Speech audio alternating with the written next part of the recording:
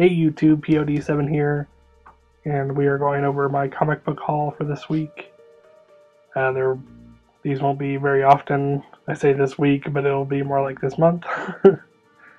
uh, first up is issues 1 through 6 of Catwoman When in Rome, which is a team up of Jeph Loeb and Tim Sale. Uh, my favorite writer artist uh, duo in comics, pretty much. Uh, besides maybe Bruce Timm and Paul Dini, but that's kind of loaded, I guess. Um, issue 3 of Mass Effect Homeworlds was okay.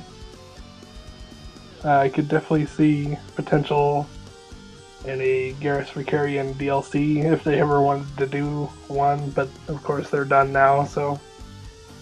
Um, Mass Effect, this is the fourth and the final issue of Homeworld, and it was terrible.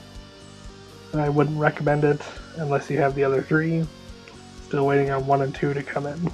So, and then we have year one of Huntress.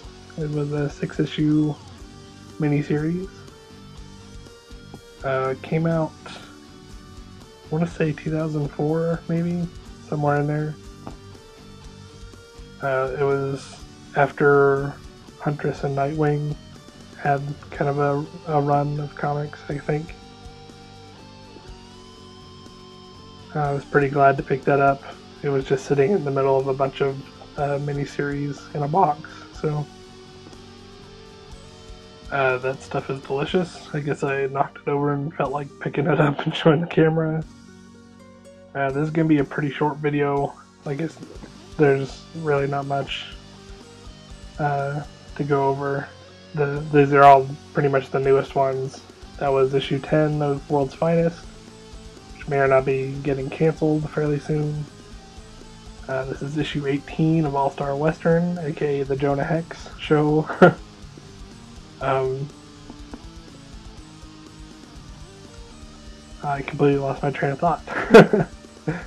Batwoman, which was kind of strange.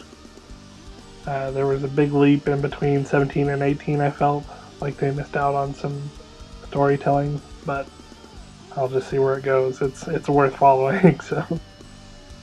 And then this was my mission for this time was to find a comic book that came out before I was born, and this was the closest thing I could find uh, without spending five hours there. It came out uh, 1987, which was the year I was born a four issue miniseries of The Phantom Stranger.